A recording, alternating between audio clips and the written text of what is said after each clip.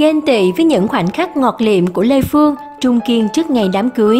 Lê Phương Trung Kiên tình tướng ngọt ngào đi thử áo dài trước ngày cưới vào ngày 8 tháng 8 tới đây khiến cư dân mạng phải ganh tị. Ngày 8 tháng 8, Lê Phương và Trung Kiên sẽ tổ chức hôn lễ. Ngày 5 tháng 8, cặp đôi mới đi thử áo dài cưới. Cặp đôi đặt may ba bộ áo dài với các tông màu tím, đỏ và trắng cho ba tiệc cưới tại Trà Vinh 8 tháng 8, Ninh Thuận 16 tháng 8 và thành phố Hồ Chí Minh 18 tháng 8. Dù hơn chồng tương lai đến 7 tuổi, nhưng Lê Phương cho biết anh rất chín chắn là bờ vai cho cô và bé cà pháo nương tựa. Cầm tay anh, giữ vai anh, kề bên anh, nơi này có anh, khép đôi mi thật lâu, nguyện mãi bên cạnh nhau, yêu say đắm như ngày đầu. Lê Phương trích lời bài hát Nơi này có anh của Sơn Tùng để thể hiện tâm trạng hồi hộp trước ngày lên xe hoa. Riêng Trung Kiên thì bày tỏ chỉ còn 72 giờ độc thân nữa thôi cả nhà ơi, khoảnh khắc đợi chờ từng phút từng giờ trôi qua, mong cho mau đến ngày ấy, cảm giác giống như hồi nhỏ hay nói với anh hai, em nôn đến Tết lắm, chỉ còn có 3 ngày thôi mà thấy lâu lắm, nóng lòng lắm. Lê Phương và bạn trai sinh năm 1992 nên duyên từ năm 2016. Sau công khai tình cảm, họ gắn bó với nhau trong nhiều sự kiện, đồng hành tại game show. Lê Phương được Trung Kiên cầu hôn vào ngày 27 tháng 7 2016. Hai người thông báo chuyện về chung một nhà hôm 21 tháng 7. Cặp đôi liên tục dành những cử chỉ tình tứ cho nhau. Hai người rất hạnh phúc. Khi thử áo dài cưới, Trung Kiên không ngần ngại thể hiện tình yêu sâu đậm dành cho bà xã. Thậm chí anh còn đòi hôn Lê Phương. Trước đó Lê Phương khoe ảnh cưới đẹp lung linh. Anh thừa nhận lỗ nặng khi làm giám khảo game show. Trấn Thành không ít lần thú nhận anh lộ vốn khi làm giám khảo game show bởi thường xuyên bỏ tiền túi giúp đỡ các nhân vật có hoàn cảnh khó khăn tham gia trong chương trình. Bỏ lại sau lưng những lùm xùm không tích cực thời gian qua như vụ hài nhảm, dễ dãi trong vai trò giám khảo, Hình ảnh của Trấn Thành tại chương trình Hát Mãi Ước Mơ chiếm thiện cảm với những chia sẻ cả về lực chất lẫn tinh thần đối với thí sinh có hoàn cảnh khó khăn. Rơi nước mắt khi chứng kiến hoàn cảnh của người anh trai Dương Văn Gấm, 67 tuổi hàng ngày đi chở hàng thuê với mức lương 50.000 đồng. Thi hát giúp cô em đang mổ tim ở tập 2 chương trình, nam nghệ sĩ hài đã không ngần ngại tặng số tiền 14 triệu 400 nghìn đồng để cô chú có thể mua xe mới phục vụ cho công việc mưu sinh. Hay ở tập 5, cô Nguyễn Thị Thanh Lan tuổi ngoài 60 vẫn hàng ngày lái xe ôm khắp mọi nẻo đường để nuôi ba đứa cháu ăn học. Căn nhà nhỏ dột chưa có điều kiện sửa sang, thậm chí miếng sắt cố định khi phẫu thuật khủy tay sau tai nạn xe cộ vẫn chưa được lấy ra. Cảm thương cho số phận người bà đến tuổi đó vẫn chưa được nghỉ ngơi. Trấn Thành tặng thêm 4 triệu 900 nghìn đồng để làm tròn số tiền thưởng của cô thành 20 triệu. Không chỉ hỗ trợ về tiền bạc, Trấn Thành còn tặng cho các thí sinh những món quà có ý nghĩa về mặt tinh thần như trường hợp chú Trần Văn Be, 70 tuổi, thường mang chiếc đàn cũ kỹ đã bong chóc lớp vỏ, chỉ còn thân chơi trội hát nghêu ngao, khiến nam MC lập tức tặng chú một cây đàn mới bầu bạn. Với câu chuyện cảm động của cô, Lương Lệ Ngọc khiếm thị, kéo loa đi hát, vừa bán vé số kiếm sống qua ngày, Trấn Thành tặng cô một cái loa có bánh xe và một micro tốt để cô đi hát đỡ mệt, đỡ bạc giọng hơn. Ngoài những hỗ trợ về vật chất, anh cũng lan tỏa tấm lòng sẻ chia với những chia sẻ ấm áp. Ngay ở tập đầu tiên, Trấn Thành đã xác định cho đi thì không mong nhận lại, yêu thương chỉ là yêu thương mà thôi, khiến người chơi và khán giả đều xúc động với tấm chân tình của anh. Nam Nhân Hài cũng nhận ra tình yêu thương của con người dành cho nhau không phải là một phép màu mà nó là một điều kiện hiện hữu. Chính nhờ những chương trình mà anh biết đến nhiều hoàn cảnh khó khăn để giúp đỡ và khâm phục nghị lực sống của họ, hay khi gặp trường hợp Chú Ali Dũng sống chết cùng nghệ thuật bao năm, Trấn Thành đã phải thốt lên, nghề này ai nhìn thì thấy hào quang, nhưng nó khó lắm. Có lẽ đó cũng chính là tâm sự của anh, tuy sống trong môi trường nghệ thuật có khắc nghiệt, khán giả chính là người giúp họ đứng vững, sống trọn vẹn với con đường đã chọn. Tôi không dám nói mình là người từ bi hỷ xã gì, tôi cũng chỉ là tôi có một tí lòng tử tế nho nhỏ nhất định để có thể giúp được những người khác. Và tôi cho rằng điều tôi giúp là nếu tôi không có cái gì đó thì nó cũng không ảnh hưởng, nhưng nếu người ta có cái tôi gửi cho họ thì cuộc đời người đó sẽ thay đổi nhiều, Trấn Thành nói.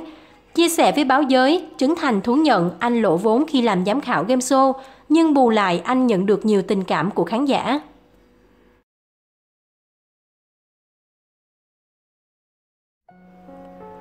Lùm xùm nhà Phương Mỹ Chi và cô Út đua nhau sâu xé cô bé 14 tuổi đến chết, dư luận mới hài lòng. Tuy chưa biết thật hư câu chuyện ra sao, vì những chia sẻ mới đến từ một phía, nhưng phần đông cư dân mạng đã lên tiếng chỉ trích, chửi rủa thậm tệ Phương Mỹ Chi. Trưa ngày 3 tháng 8, loạt thông tin trong bài viết cô Út khóc nức nở khi nói ra sự thật về mối quan hệ với gia đình Phương Mỹ Chi của tác giả Hồng Sơn đăng tải trên trang Sài Gòn Giải trí.net, nhanh chóng thu hút sự chú ý đặc biệt từ dư luận lẫn truyền thông. Đây là lần đầu tiên Phương Quý Như, người cô khiếm thị có công lớn truyền lửa đam mê và dìu dắt Dạy dỗ giọng ca quê em mùa nước lũ từng câu hò, điệu lý thọ mới lên 6, lên 7, tiết lộ câu chuyện khó nói giữa bản thân cùng gia đình anh chị.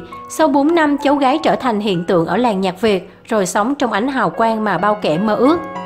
Những chia sẻ khiến ai cũng phải sốc. Theo đó, cô Út cho biết hai nhà sát ngõ nhau, song thời gian qua Phương Mỹ Chi không hề ghé sang. Hơn nữa, con gái nuôi ca sĩ Quang Lê chưa một lần chủ động nhấc máy gọi điện thoại hỏi thăm mình, dù đấy là xích mích của người lớn với nhau. Út thấy rất buồn, Út nhớ có một lần gần đây, Út đi hát ở chùa Vạn Phước, đường Tuệ Tĩnh, quận 11. Đồng thời Mỹ Chi cũng hát ở đó, dù có gặp mặt Út vậy mà Mỹ Chi cũng không tới hỏi thăm. Thôi thì sau này Út có hát ở đâu, rất mong các anh chị MC và chương trình sẽ không giới thiệu Út là cô của Phương Mỹ Chi nữa, để đừng làm ảnh hưởng đến ngôi sao Phương Mỹ Chi. Riêng chuyện Mỹ Chi có nhắc tới bà nội thì cho Út xin Mỹ Chi hãy để cho bà nội yên nghỉ, vì ông bà nội cũng đã mất hết rồi ca sĩ Phương Quý Như chia sẻ thêm. Bên cạnh đó, cô Út cho hay mình được gia đình anh chị chu cấp khoản tiền 2 triệu đồng một tháng kể từ khi Phương Mỹ Chi nổi tiếng. Và lúc cả nhà cháu gái dọn ra riêng vì kinh tế khó khăn nên cô buộc phải xin thêm 1 triệu đồng mỗi tháng. Cuối cùng, ca sĩ Phương Quý Như chốt lại, trước đây gia đình Phương Mỹ Chi đưa tiền tận tay cho Út, sau này thì gửi người khác đưa cho bố thí vậy. Nên Út buồn và cảm thấy tủi thân lắm, và gần một năm qua, khi gia đình Phương Mỹ Chi không qua lại với út nữa, số tiền 3 triệu mỗi tháng út cũng không nhận mà tự nuôi sống bản thân bằng việc dạy hát và đi diễn chỗ này chỗ kia.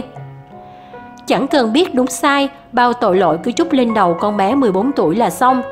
Tính đến thời điểm này, chưa đầy 24 giờ đồng hồ sau bài phỏng vấn của Úc xuất hiện, Phương Mỹ Chi phải đón nhận hàng trăm, thậm chí hàng ngàn bình luận chửi rủa chỉ trích thậm tệ từ cư dân mạng Người nhẹ lời thì cho rằng Áo quân The Voice phiên bản Việt mùa 1 sớm mắc bệnh ngôi sao, khuyên nên sống biết trước biết sau. Bởi lẽ nếu không có cô Út dạy dỗ chắc giờ đây cũng chỉ là một cô bé vô danh bán chè. Trong khi những người khác có cả fan trước đây chẳng ngần ngại mắng chửi Phương Mỹ Chi là thứ ăn cháo đá bát, vô ơn giả tạo hay mất dạy. Thậm chí một số người còn tranh thủ chửi cho sướng miệng với lý do hết sức buồn cười. Đó giờ chưa khi nào thích Phương Mỹ Chi, Lúc thi nhìn mặt đã thấy ghét, biết chẳng ra gì rồi. Xét cho cùng mâu thuẫn trên là giữa cô Út với ba mẹ Phương Mỹ Chi, đó là chưa kể thông tin làm dậy sóng mạng xã hội kia mới đến từ một phía và thật hư ra sao, vốn chỉ những người trong cuộc mới tường. Thế nhưng, vì có dính ba chữ Phương Mỹ Chi mà cô bé bỗng trở thành tội đồ, hứng chịu hàng tá gạch đá của khán giả. Rõ ràng nếu đặt mình ở vị trí chị Bảy hẳn ai dám giơ tay bảo bản thân không cảm thấy lứng cứng khó xử khi ba mẹ và cô Út xảy ra xích mích. Huống chi giọng ca, câu hò điệu lý còn đây, đi diễn lúc nào cũng được phụ huynh đồng hành, thì chuyện quên chạy lại chào hỏi cô mình cũng là điều có thể hiểu. 14 tuổi đồ ăn chưa no, lo chưa tới, trong khi bao bạn bè đồng trang lứa chỉ việc ăn ngủ học hành vui chơi, thì Phương Mỹ Chi phải tức bật chạy xô, có những đêm hát đến khang cả cổ để phụ giúp gia đình một phần thu nhập. Cô bé không rõ mức cách xê cho mỗi show diễn của mình là bao nhiêu và cũng chẳng lúc nào cầm đến nó. Việc Phương Mỹ Chi vừa đi hát kiếm tiền, vừa giữ vững danh hiệu học sinh giỏi nhiều năm liền đã là điều đáng quý. Ở độ tuổi hiện tại, phiên ngọc sáng của dòng nhạc trữ tình quê hương còn tự lo cho bản thân chưa xong, thì chuyện phần đông dư luận bắt ép em phải có trách nhiệm với họ hàng. Cô gì chú bác liệu có quá vô lý, trong khi đáng lẽ ra nó thuộc về những người lớn. Suốt 4 năm qua, kể từ khi bừng sáng với tiết mục Quê em mùa nước lũ, tại vòng giấu mặt của sân chơi giọng hát Việt nhí mùa đầu tiên, Phương Mỹ Chi cũng gần như đánh mất tuổi thơ trong sáng hồn nhiên của bản thân. Muốn chia sẻ điều gì, ăn vận ra sao, đi chơi chỗ nào cũng đều phải cân nhắc, suy nghĩ thiệt hơn. Đấy là thiệt thòi lớn với chị Bảy, nhưng mấy ai hiểu. Tuy nhiên, đau nhất với cô bé vẫn là hàng tá gạch đá, những lời cay nghiệt mà dư luận thích đổ xuống đầu mình lúc nào thì đổ. Bảo vẫn đến mỗi mùa, Phương Mỹ Chi rồi cũng dần quen với loạt thị phi và điều tiếng bộ vây.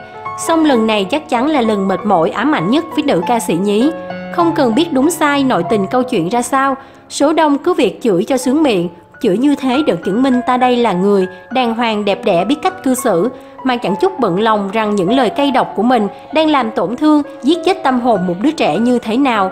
Đáng vui chăng, đáng hạ hay sao hay đang quá nhẫn tâm.